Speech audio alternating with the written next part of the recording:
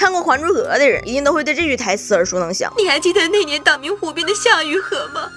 但谁也没成想，本应该是电视剧里的故事情节，竟然真的会在现实生活中上演了。而且这个故事中的男主角还真就是咱们的皇阿玛。看见这事儿，老于只想直呼一句：够刺激，够狗血。不过同时，老于也有一个问题：这私生子到底是从何而来？私生女又是怎么回事？这一期就让老于带大家来好好盘一盘皇阿玛的风流情史。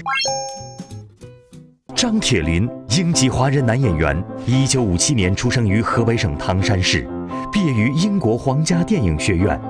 一九九八年，在《还珠格格》中饰演皇阿玛，为广大观众所熟知。这事儿还得从几年前说起。两个女人将张铁林一纸诉状告上了法庭，说明着白纸黑字写着张铁林没有照顾好女儿的抚养费和抚养权，甚至并没有照顾到两位女士的人格尊严。哎，这么听起来，事情好像不是一般的严重啊！都知道张铁林和波兰前妻有一个女儿在国外上学，张铁林对她也是好的不行，怎么就没有尽到抚养权了？难不成是爹？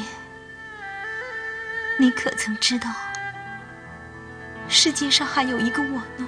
这么看起来，把张铁林告上法庭的这两位，应该就是张铁林之前欠下的风流债没跑了。果然，皇上就是皇上，人生如戏。小到金锁，老到容嬷嬷，我身边从来不缺女人呐。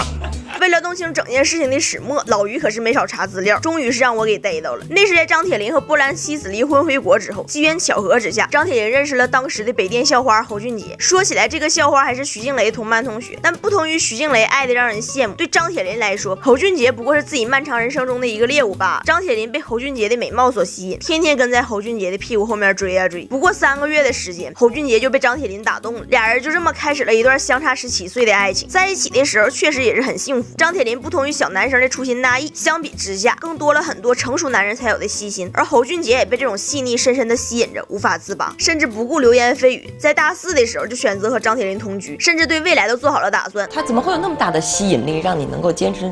一直做到今天呢，因为这里边有无限的乐趣。但没想到同居第二年，侯俊杰就发现自己怀孕了。当时张铁林饰演的皇阿玛一角正当红，听到侯俊杰怀孕的消息，他第一反应竟然是让侯俊杰把孩子打掉。怎么说都是自己的亲生骨肉，怎么可能说打掉就打掉？侯俊杰伤心之余，也是说什么都不答应，坚决要留下这个孩子。张铁林见他意志坚决，也就不再说打孩子的事儿。侯俊杰满心欢喜的以为，只要生了这个孩子，张铁林一定会回心转意，甚至可能会有一个很幸福的婚姻生活。但没想到的是，等来等去，等到的竟是张铁林和别的女演员的绯闻。这个孩还是要找机会吧，没有说一定要组建一个家庭就是一个最后的归宿。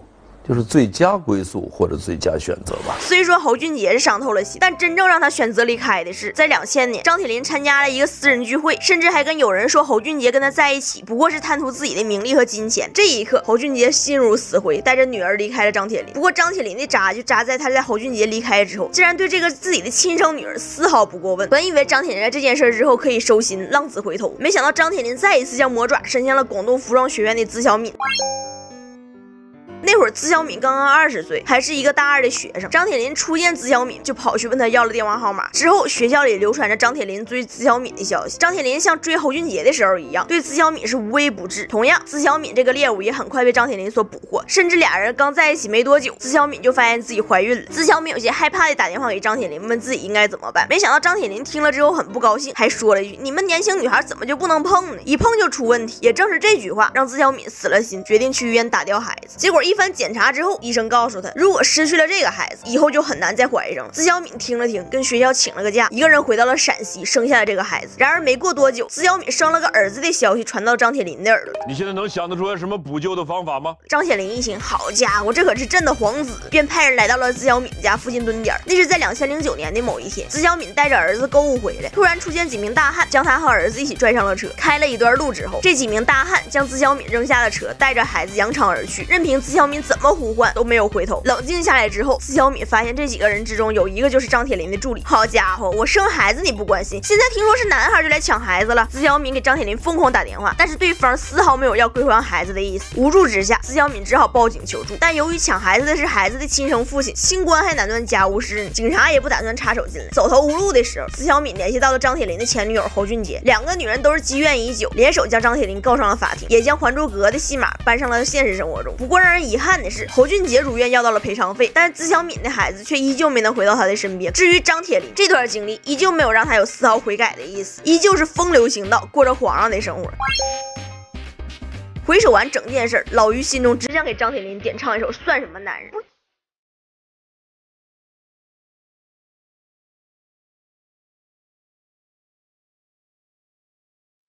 不仅没有做到一个丈夫的责任，更是没有尽到做父亲的责任，甚至用强抢的手段把孩子从生母手中夺走，还禁止两个人见面。这样的行为着实是让人不齿。人家紫薇虽说也是皇阿玛的私生子，但是皇阿玛在听到夏雨荷的时候，眼里也是满满的深情。然而到了张铁林这边，大家看到的不过是张铁林的冷血无情罢了。不仅不认这个找上门的紫薇，更是完全不把夏雨荷放在眼里。别人的六十几岁本应该是家庭美满，过着子孙满堂的生活，到了他这边却变成了不仅私生活混乱，还丝毫没有责任心。说来也真是对上了晚节不保这四个字。最后，老于只想提醒屏幕前的姑娘们一句：感情上一定要好好擦亮眼，千万别把人家几句甜言蜜语当成爱情。你以为你是遇见了山无棱天地合，殊不知在对方眼里不过是感情路上众多猎物中的一个罢了。我是老于，带你领略更多娱乐圈的尘埃往事。咱们下期继续。